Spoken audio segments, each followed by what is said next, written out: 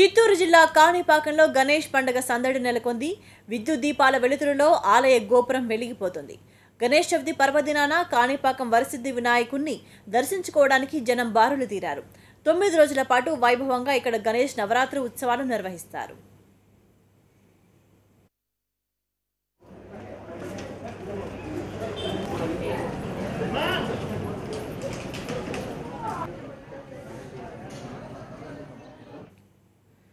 భక్తుల రద్దీని దృష్టిలో ఉంచుకొని ఆలయ అధికారులు అన్ని ఏర్పాట్లు చేశారు. కాణిపాకం వరసిద్ధి వినాయకుడిని దర్శించుకునేందుకు తెలుగు రాష్ట్రాలతో పాటు కర్ణాటక తమిళనాడు నుంచి పెద్ద ఎత్తున భక్తులు తరలివస్తారు.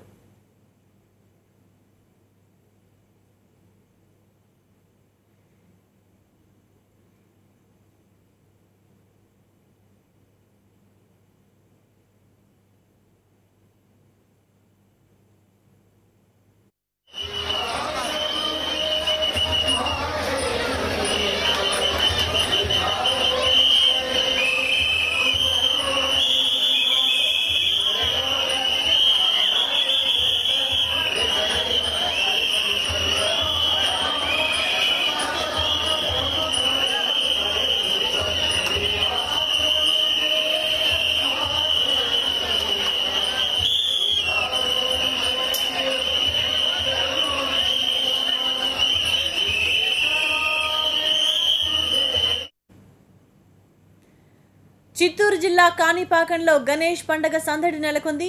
విద్యుత్ దీపాల వెలుతురులో ఆలయ గోపురం వెలిగిపోతుంది. గణేష్ చవితి పర్వదినం రోజు కాణిపాకం వరసిద్ధి వినాయకుని దర్శించుకోవడానికి జనం బారులు తీరారు. తొమ్మిది రోజుల పాటు వైభవంగా ఇక్కడ గణేష్ నవరాత్రి ఉత్సవాలు నిర్వహిస్తారు.